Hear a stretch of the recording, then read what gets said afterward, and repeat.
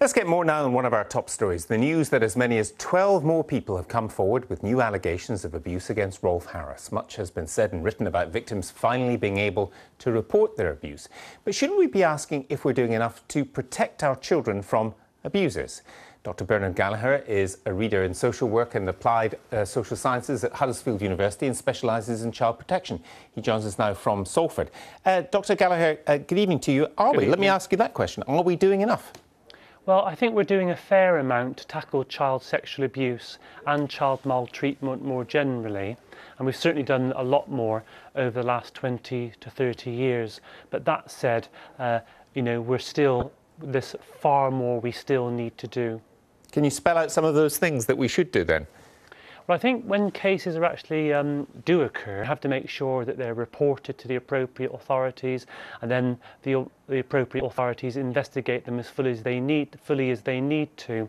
So, but those measures all deal with um, detected cases.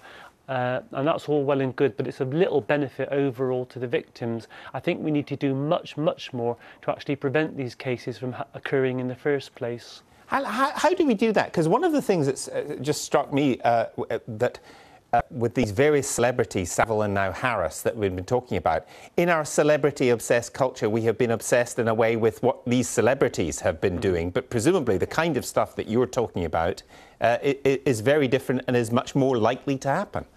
Well, yes, I mean, just child sexual abuse alone is a fairly widespread problem the children's charity in the UK, the NSPCC, carried out a prevalence survey and estimated that something like uh, uh just over 10% of all children would be victims of contact child sexual abuse.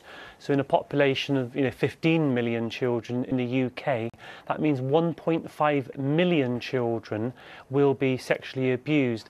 Now, a tiny proportion of those have been, and maybe even in the future, will be abused by celebrities, but that's only a drop in the ocean. There's a much more extensive problem. Um, presumably, though, you are encouraged that to take the Rolf Harris case, more victims have come forward, and we understand from various charities that more people, nothing to do with Harris or Savile or any of the others, but more victims are coming forward. It, it, it's as if uh, that some dam has been broken and people are more willing to put them through the very difficult process of trying to bring people to justice. Yeah, I mean, there is a, a, a positive aspect to these tragic cases, you know, particularly those involving celebrities, in that uh, people, you know, people are being encouraged to come forward. But I imagine that, those victims, even those victims, will be a small proportion of all victims.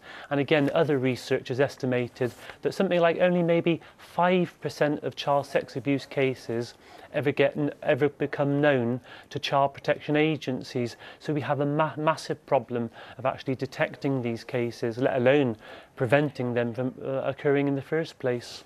Dr. Gallagher, thanks very much for joining us. Thank You're you, welcome. Bernard Gallagher there. The University of Huddersfield, inspiring tomorrow's professionals.